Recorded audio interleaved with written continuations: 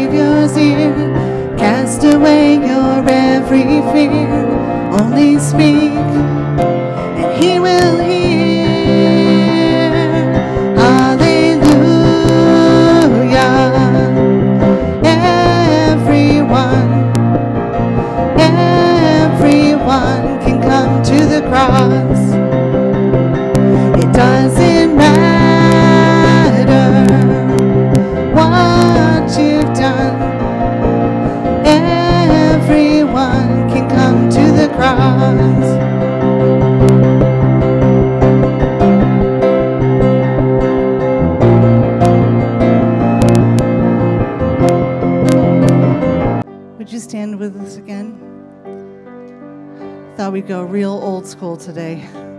One of my favorite hymns, because I also grew up in a church where we did hymns originally, and some of these are just wonderful.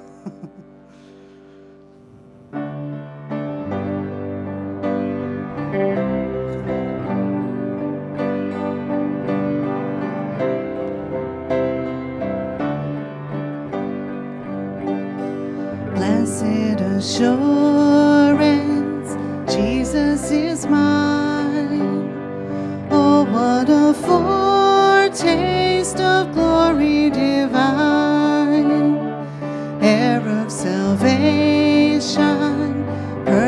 of God, born of his spirit, washed in his blood.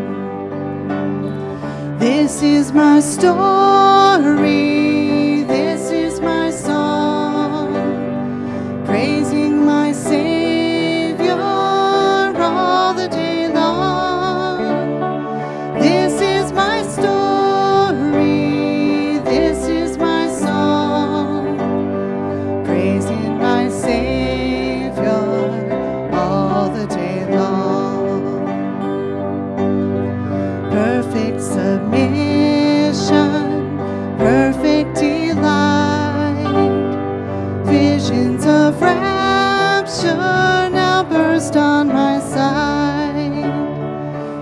Angels descending,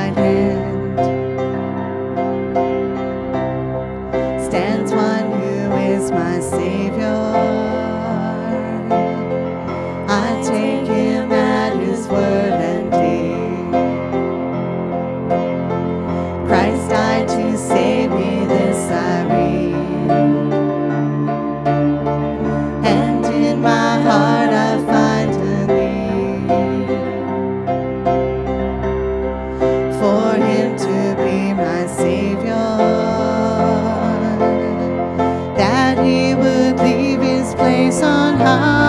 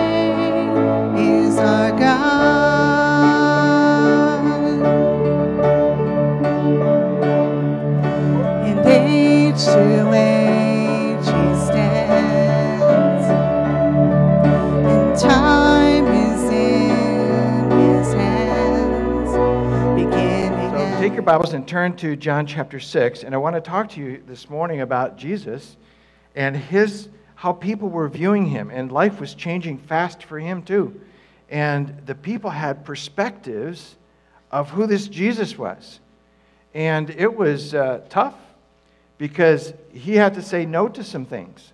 And they, they wanted him to do some great things from their perspective, but that's not what his agenda was. They had a different agenda than what Jesus had. And this morning, you know, when I look around, and I see all these smiling faces and, and uh, people who are working through things in their own lives. You have things too, and you may think of, I'm going to put Jesus over in this box over here. But Jesus is bigger than that little box.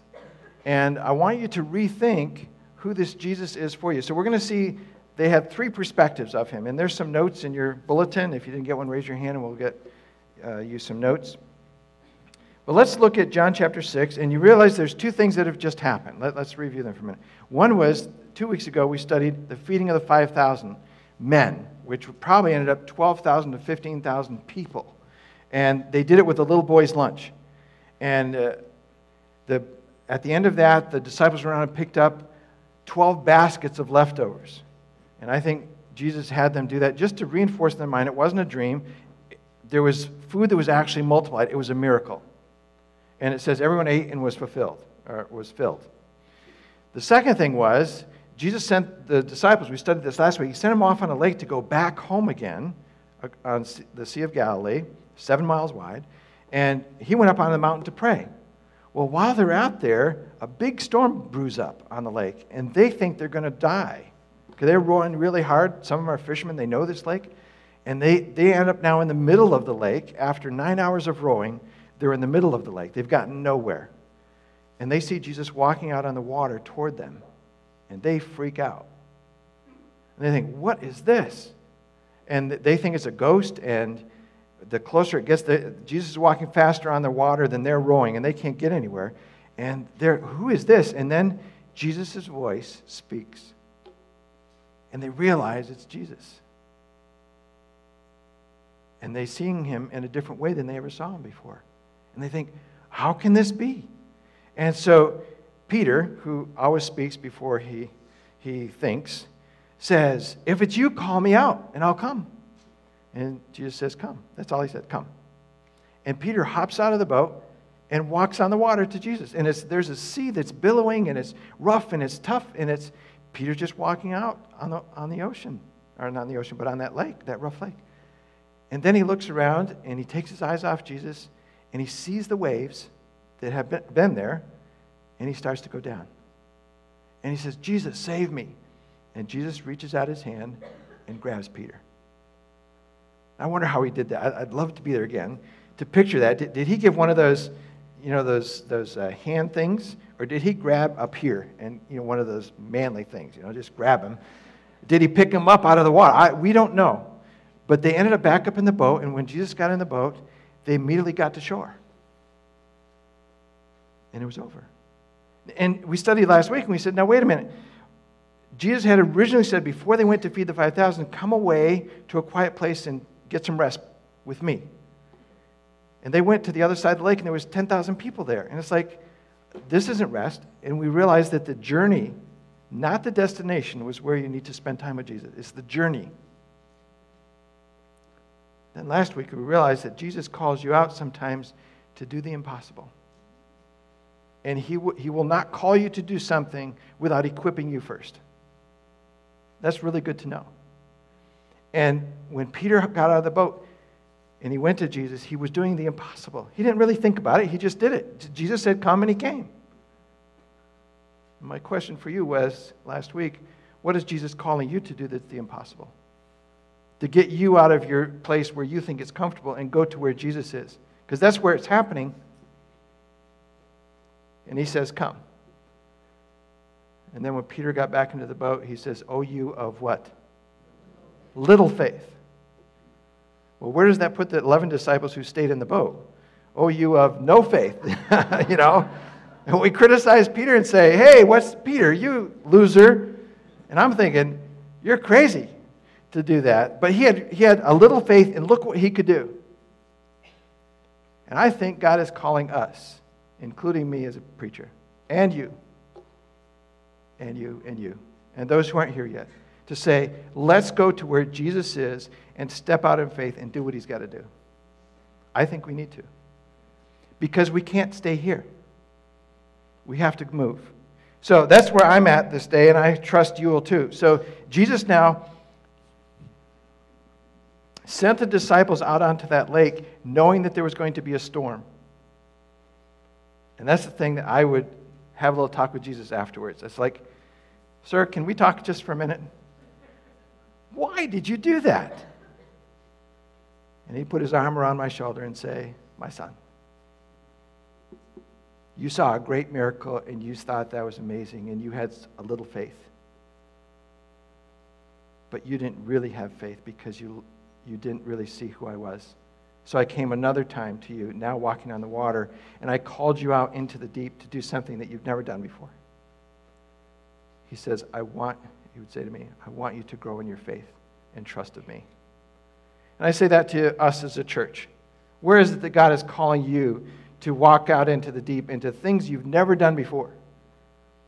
To maybe do ministry that you've never done before. Maybe talk with somebody who you've never you, it's hard for you to open your mouth. And yet, when you open your mouth, words come out that you, you have scriptures. Uh, this happened to me when I was in college, and I witnessed to my roommate verses that I had memorized when I was a little kid came out of my mouth. I didn't have a Bible with me at that point. I just started witnessing, and, and verses that I memorized when I was a little boy in Sunday school came out of my mouth. How did that happen? That's because God's Spirit used what I had put in there years prior. And I think God will equip you to do that too. And I would say, God, th- this week, you show me where I can go. And I'll do whatever you tell me to do. I'll say what you say, want me to say. I'll be who you want me to be. Now, that's the intro to this. So let's go into the text here. The people now who got fed, the 5,000, maybe 15,000 people who got fed, thought that was pretty awesome that Jesus fed them this meal out of a little boy's lunch. And so they came looking for him. Now, what do you think they're looking for? Another meal. hey, that was pretty awesome. Let's, uh, and, and they get there and they go, How'd you get here? you know, they, we didn't see you leave because you sent the disciples off. How'd you get here? So let's watch this. And the first way they look at Jesus is they say, He's a miracle man. He's the, the God that has miracles. We want more of those miracles. So let's look at this. Starting in verse 22 of John chapter 6. The next day, the crowd that had stayed on the opposite shore of the lake realized that only one boat had been there and that Jesus was not entered in with his disciples, but that he had gone away alone. Then some boats from Tiberias landed near the place where the people had eaten the bread after the Lord had given thanks. So there's other people going to where the feeding of the 5,000 was, and they are saying, hey, if that miracle happened there, maybe there's some more that's happening there. They realize Jesus isn't there. Verse 24 Once the crowd realized that neither Jesus nor his disciples were there, they got into their boats and came to Capernaum in search of Jesus. When they found him on the other side of the lake, they asked him, Rabbi, when did you get here? Jesus answered, I tell you the truth. You are looking for me, not because you saw miraculous signs and understand who I am, parenthesis, but because you ate the loaves and had your fill. Do not work for food that spoils, but for food that endures to eternal life, which the Son of Man will give you. On him, God has placed a seal of approval. So, God the Father has placed a seal of approval on Jesus, and he, what Jesus is saying is don't look just for the food. That's a mistake. Look for the one who make, gives the food, the Creator, the great God. Then they said to him, in verse 28, What must we do to do the works that God requires? It's that works oriented type of thinking. Verse 29, Jesus answered, The work that God is this, to believe in the one he has sent. So they said, What miraculous sign then will you give that we may see it and believe you? What will you do? Our forefathers ate the manna in the desert, as it is written, He gave them bread from heaven to eat. Verse 32 Jesus said to them, I tell you the truth, it is not Moses who was given you the bread from heaven, but it was the Father, my Father, notice, who gives you the true bread from heaven. For the bread of God is uh, the bread of God is he who comes down from heaven and gives life to the world. Sir, they said, now give us this bread. 35, Jesus declared, I am the bread of life. So Jesus walks in themes here, and I really like, he's such a great teacher, and he knows food speaks.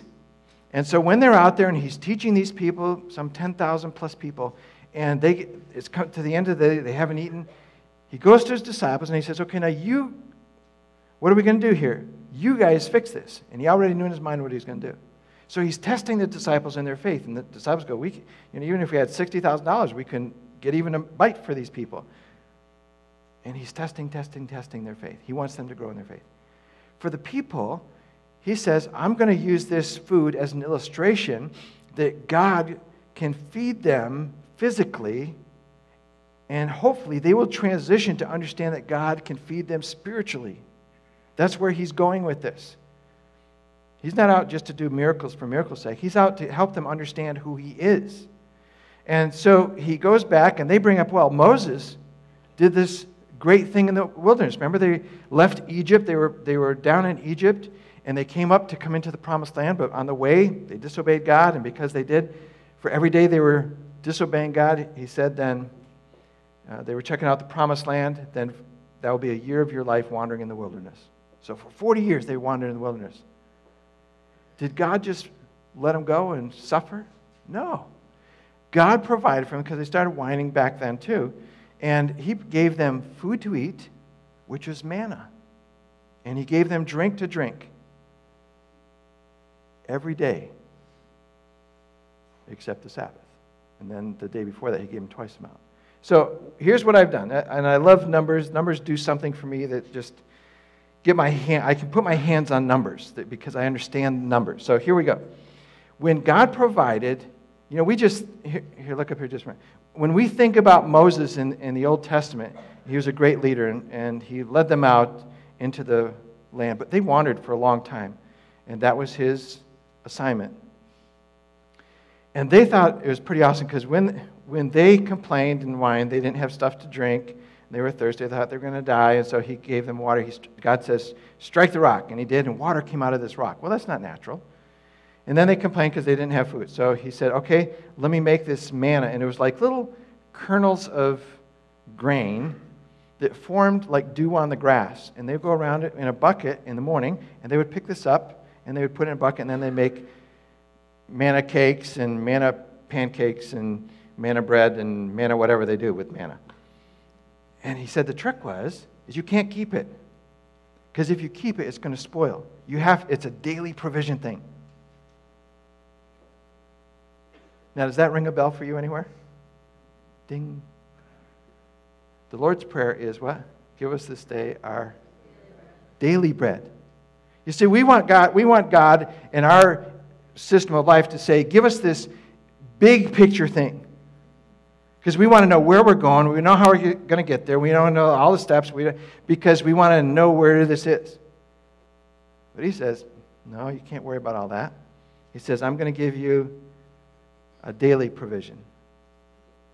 And what does, when you have to do a daily provision, what does that do? That makes you what? Dependent. It, it, you have to have faith in something bigger than this great nest egg that you have over here, right? And he says, I'm just going to give you a daily bread. He says, The Word of God is a lamp to your feet and a light to your path. It's not like a big search light, like on a train that goes down miles down the road. It's, it's going to show you where your path is because He walks daily with you. And that's unnerving for some people because they like to know where they're going. And you don't always know where you're going. And so he's giving them daily provision. So this thing in the Old Testament, we think, yeah, okay, they ate manna, and he also gave them quail for diversity in their balanced diet, and, and he gave them water. And so we just think, okay, that's what God did. I think if we just do it that way, it's too simple. I have some data here to look at. Watch this. God's provision in, in your notes. God's provision in the Old Testament wanderings, and this is in Exodus 16 and 17, it talks about it. They were in the desert for 40 years. There was roughly three and a half million people that came out of Egypt. We're talking a big crowd. And they had animals. They had sheep and, and goats and camels and horses and chickens and all sorts of things that they had. Who's going to feed them? We don't even think about that, about feeding them. So there was a huge number of people that came out, and God says, I got this one. Now they're going to have to work for it. I'm not going to make the bread for them, but they're going to have to go get it, and then they'll have a project to do. And apparently, the manna was good enough for animals too. And that, so it was a nutritious type of thing, and the animals would eat it too, and that was the provision. Marvelous thing that God does. Now look at the look at the volume, and this is just if we take some, for instance, if you'd have three and a half million people came out of Egypt, seven pints per person, plus 50% because they can't pick everything, you know, there's leftovers there. That would take 46 box cars to do that many people every day. 46 box cars. Then, if you have animals that you got to feed too, assuming how many animals you'd have for a given family, that'd be 160 box cars. So, and then regarding water, you know, we just think, you know, we, we are so spoiled in America. We just go to any tap really around and we just put our glass there and we drink. We trust it and it's safe and there you go. If you're in the city, this is statistical now, people use an average of 60 to 75 gallons per day with all the things that they do. And you go, wow, that's a lot. but just think about all the things you do and things you water lawns, you do wash, you, you drink, you all that kind of stuff. Take showers and things. If you're in the woods, maybe 25 gallons a day. But if you're in an emergency situation, one gallon a day. And let's give an animal two gallons a day. Cows drink a lot, and you have big animals, then you have small animals. So an average of two gallons a day. That's 1,080 tankers that the God would have to provide. So if we add that up, that's a 1,268 train cars, which is nine and a half miles long. How'd you like to get stopped at that crossing? so you could break it up, though. You could have 13 trains of 100 cars, railroad cars each, just for volume of what it was. That's what God provided for his people out in the wilderness. Now, what does that do to you? Doesn't it? It's like that God, God is an awesome God to do that. So it's not just like God threw out some manna here and they were out picking up. He, he sent out 13 long trains of provision. What is your view of God when you see that? It's like, and he didn't have to do it because these people were, were grumpy people. But they were his people. And he loved them in spite of their grumpiness. And I think that's my God. That's pretty awesome. in history, God provided for his people in their hour of need. And that's the God that provides for me too. And I'm all in on that. It's like, that's my God. What's your God like? You know? That's my dad here, my Heavenly Father. And I don't know what you're going through, but I, here's what I would say is that God is working on building faith in your life. And you can either fight him or you can work with him. And if I was you, I'd work with him. And you'll see the hand of God in your life amazing. I'm not saying it'll be easy, but it'll be amazing.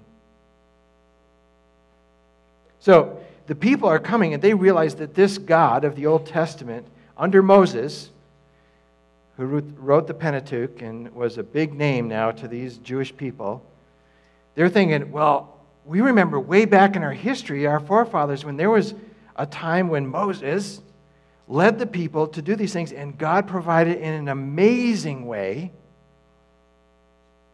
And now Jesus is on the scene, and he's talking. He quotes some of the Old Testament, and, and he has truth, and, and he's doing some of this stuff with food again.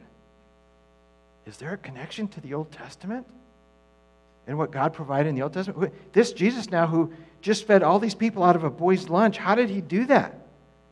Is there a connection? And so they're, they're coming to Jesus and they're saying, okay, let's have some more of that. And by the way, Jesus, Moses did this for 300, three and a half million people for 40 years. He did this and you did this. One meal, 15,000 people. So, and Jesus said, what did he say? He said, It wasn't Moses who provided, it was my father. My father provided through Moses' leadership to these people, but it was my dad who did that. Then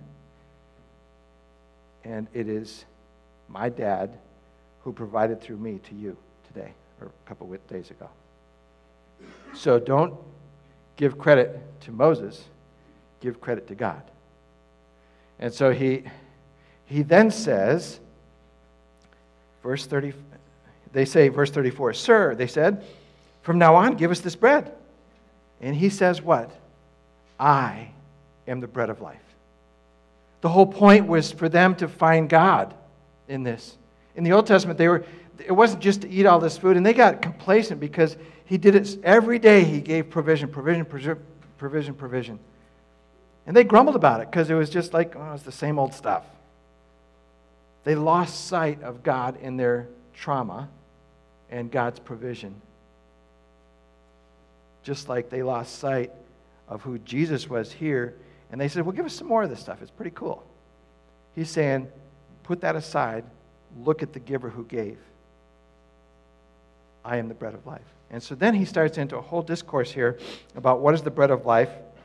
And I think the bread of life through the rest of the chapter is mentioned four times.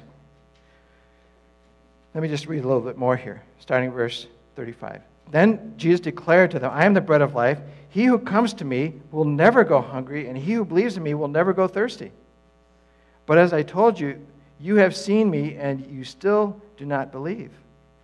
All that the Father gives me will come uh, to me, and whatever comes to me, I will never drive away.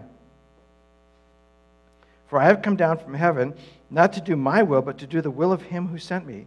And this is the will of him who sent me, that I lose none of all he has given me. He's talking about people here. But raise them up at the last day, for my Father's will is that everyone will who looks at the Son and believes will have eternal life. And I will raise him up on the last day. I'll tell you, this guy, Jesus, is a wonderful teacher here. And he is so clear. You know, when we look at this, we think we get it. We go, like, of course. He's talking about himself. He's talking about what the Father has given me. He says that I am to do the will of my Father, and the ones that he has given me, the people he's given to me, I will take them and they will not be lost. I want them to get it, and I will bring them to eternity with me. So that's where we are with, with this miracle man, Jesus, and this daily provision. It's, it's bigger than that. He wants them to see him, not the provision. But he uses the provision to get their attention. And so when you're out talking with people, you got to figure out what is the thing that's going to click with them so they'll hear what's the need that I got to touch so that they will hear what I have to say about God. And you think about that. Jesus really had them hooked. And they came looking for him for more. So the second way they looked at him was a, just a, a mere man and a moral teacher. He was a man that had great words, but they didn't understand that he was God himself. And so, verse 41 At this, the, the Jews began to grumble about him because they, he said, I am the bread of life that came down from heaven. They said, Is this not Jesus, the son of Joseph, whose father and mother we know? How can he now say, I came down from heaven? So, if I was, I won't say that, but I'd be frustrated if I was Jesus here, you know? He's just done all this. He said these great words. He's great, made great analogies. He's been very clear with who he is, what his mission is. And now what do they do? They start grumbling. And what do they do? They say, Who are you? You're just, we know your mom and dad. This Joseph. He's mere carpenter. And by the way, they don't say it here, but it's underneath that. Um, wasn't your mom pregnant before your dad got married? So who are you to tell us anything? We're better than you. And there it is. Now, Jesus doesn't get mad. He doesn't let them have it. He doesn't say, Don't you know who I am? He's trying to say who he is, and they aren't getting it. So they think he's just a moral teacher, and they're discrediting his background because of their perception of him. Verse 43 Stop grumbling among yourselves, Jesus answered. No one can come to the Father unless the Father uh, who sent me draws him You might want to underline that verse 44 there. No one can come to the Father, no one can come to me unless the Father who sent me draws him. And I will raise him up on the last day. It is written the prophets, they all they will all be taught by God. Everyone who listens to the Father and learns from him comes to me. No one who has seen the Father except the one who has from God. Only he who has seen the Father. I tell you the truth, he who believes has everlasting life. I am the bread of life. He comes back to that same theme. Verse 49 Your forefathers ate manna in the desert, yet they died. But here is the bread that comes from, down from heaven, which a man may eat and not die. I am the living bread that came down from heaven. If anyone eats this bread, he will live forever. This bread is my flesh, which I give for the life of the world. Then the Jews began to argue sharp among themselves how can this man say, Eat this flesh? So he's working with people here who are, are stuck. And they aren't admitting that they have any need. There's, they, aren't, they aren't willing to admit that, hey, we got a problem we aren't perceiving. They're, they're fighting God here at this moment, and they're stuck. They're saying, well, give us this bread. And he goes back to the thing that says, I am the bread of life. I came down from him. It is my Father. Well, they don't like that because he's claiming himself to be God.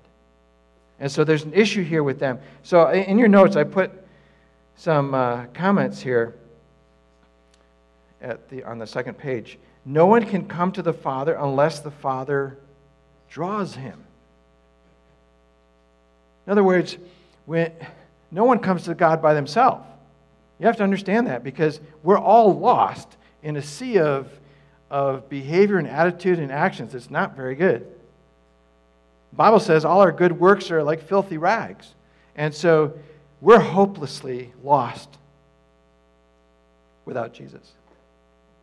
You got to get that because we aren't going anywhere without God. And he says, I, I am here to give you life. And, and the bread thing, I guess what he, he's doing this theme of bread, which is really interesting.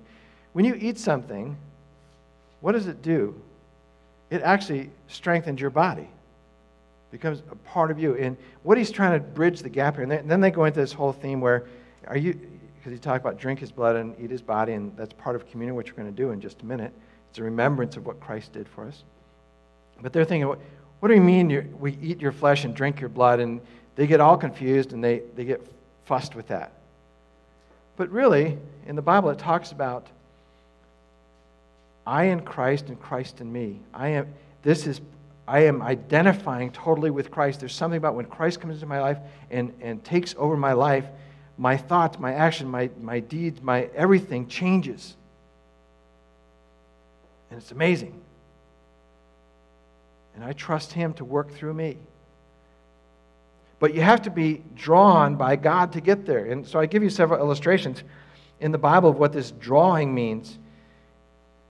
John 21 6, it talks about dragging a fish net. You're dragging the net. The fish come in because you're dragging them. Acts 21:30 talks about dragging someone off from the temple. John 12:32, I will be lifted up and I will draw all men to myself. Then I went back to the Old Testament, Jeremiah 31 3. It says, I have loved you with an everlasting love. I have drawn you with loving kindness. Oh, did I say it? By the way, that's my God that does that.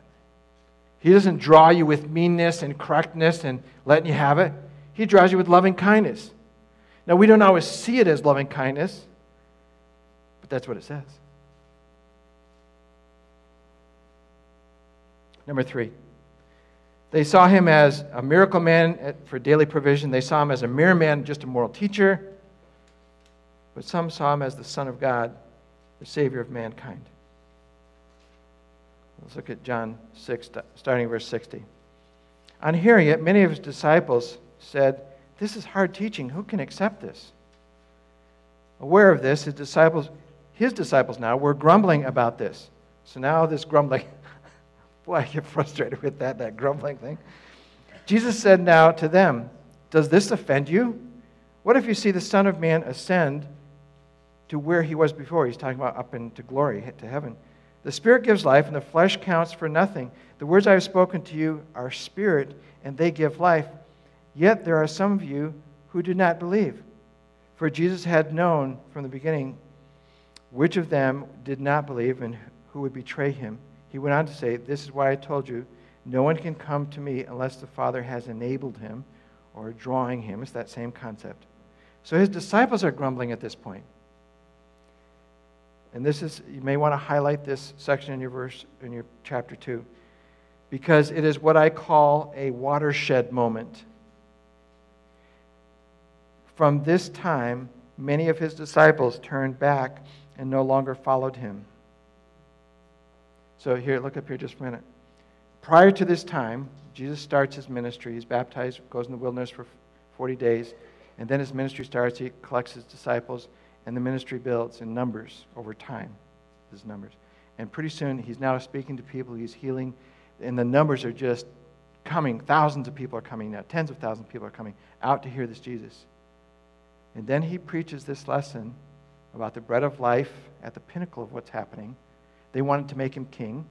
He said, No, that's not my agenda, that's yours. And people are coming like this. And then he preaches discipleship here and say, You have to eat my flesh and drink my blood. You have to identify with me, not as a miracle worker, not as a, just a great teacher, but as the Son of God. And when they heard that and the cost of discipleship, it said the crowds started to go away. And at this moment, this text right here is the watershed moment of his ministry. And now the crowds start going away because it's too hard and they don't want to do that. They want what their agenda is. And sometimes in our life, God will do that. He'll come and it's exciting, it's fun, it's thrill, and it's good, good, good. And then God says, But I want you. I want all of you. And if we say no, then God's influence in our life goes away. And that's a scary place to be, my friends. So, this is a watershed moment. And I don't know if you have watershed moments, but you have to say, okay, I'm going to go with God. When God says this, He says, Come to me out in the deep. I'm going to go out into the deep. And he says, I want you to witness and share your faith to this person. I will do that. He says, I want you to quit your job and go follow God another way. Then I will do that. Whatever it is, he, he wants you to grow with him. When you stop and say no to God, then things start going away. Now, I think you'll make it to heaven if you're a believer, but the joy and the thrill of the moment is gone. So here, so Jesus is the Son of God. He's the Savior of mankind. This watershed moment. Notice what, what happens now. He turns to his disciples because the crowds turn away, and he turns to his disciples. These are the men who've seen him do all these miracles, teach all these great things, and he turns to them and says this.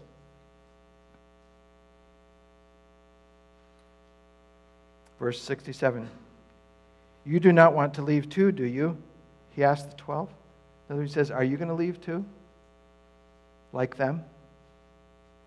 Simon Peter answered him, Lord, to whom shall we go? You have the words of eternal life.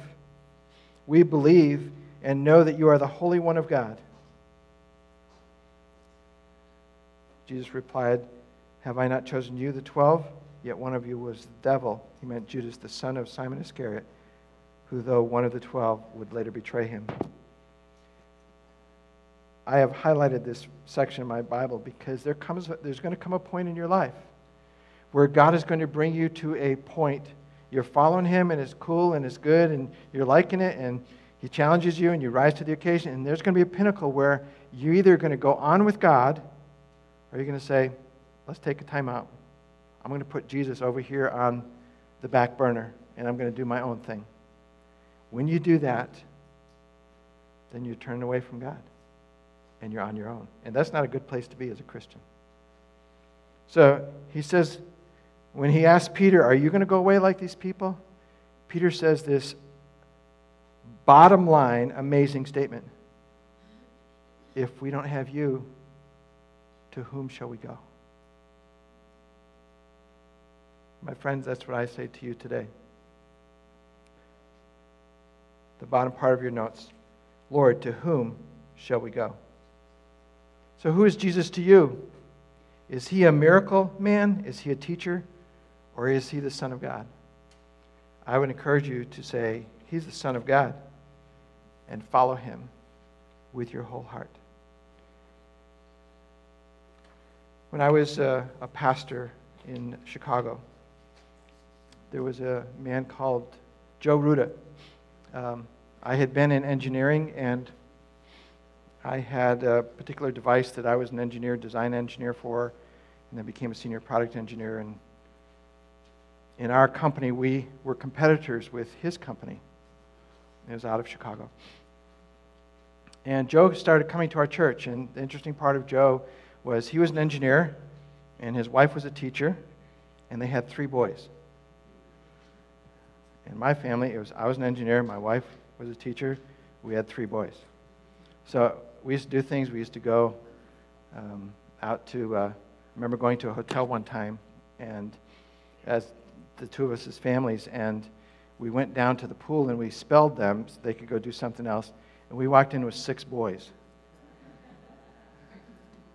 And people's mouths just kind of you know, how, and, and they all tapered down. Our boys were taller than all theirs, but uh, we would taper down. We took pictures. It would be fun. Anyway, they came to our church, a little country church there in Chicago, and uh, Joe worked in the sound.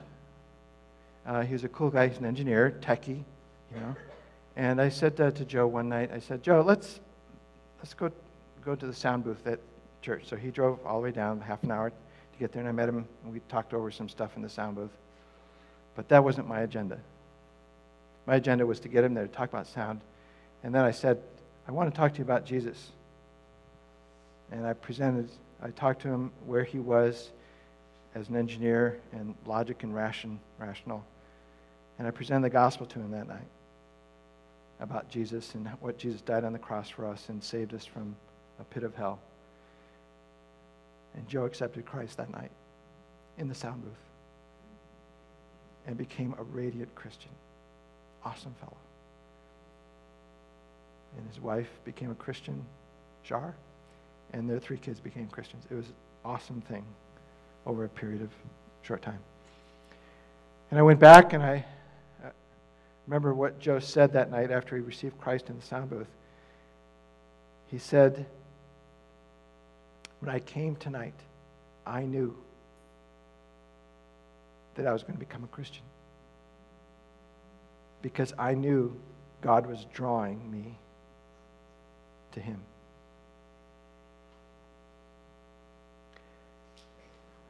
I've never forgotten that. And I hope one day they'll come and you can see this guy. He's awesome fellow. He now works for, he's a sound tech for a church in the Chicagoland area called Harvest Bible Chapel. James MacDonald does uh, Walk in the Word, I think, is what his, and Joe's part of the sound tech team for them. I don't know where you are this morning, my friends, but I think God is calling us into a deeper walk of faith. And I think we have to respond to that. And if you don't know Jesus, I'm glad you're here because there's a great place to know Jesus. And I would get in the Bible and I would say, I'm going to find who this Jesus is that we're studying about because that's who I want to know. That's who I want to be like. And if you don't know him, we have Bibles in the back. You're welcome to have one. Start the book of Mark and read a chapter a day. And see what it says about Jesus. Because one day you're going to find out this Jesus is God Himself, and He died on a cross for your sin. And He says, I want you to come to me for your eternal life. I want you to repent of your sin and say, I'm in. I give my life to you. Let's pray. And then we'll do communion, whoever's doing that. Father, we thank you for the privilege we have of coming to you today. What an awesome study of people who had different views of God, and yet the actual one is not, he's not a miracle worker, though he did miracles. He's a, not a great teacher, though that, he did great teaching. His focus was being the Son of God. And I pray that people get that. And this morning, if someone says, I want to know this Jesus, Amen. I repent of my sin because I have gone against God, a holy God. I repent. I turn from my sin. I ask you to forgive me of my sin. I ask you to come into my life to change me. You take my life and you use it, and what you tell me to do, I will do what you say. Want me to say, I will say. What you want me to believe, I will believe. I will be part of the family. I will be part of the kingdom because I want you. I love you and I trust you. In Jesus' name, amen. If you prayed that prayer, I'd suggest that you go and tell two people before you leave here.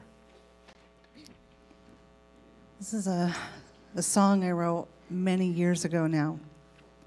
And it was just a reminder to me that um, I think it was David Jeremiah who, David Jeremiah who said that at best this world is a clean bus station. And C.S. Lewis also referred to this world as the Shadowlands. So this isn't really our home. This is just, you know, the prelude to our actual home in heaven. It is going to be so far beyond anything we can ever imagine. We're living in the Shadowlands right now. But.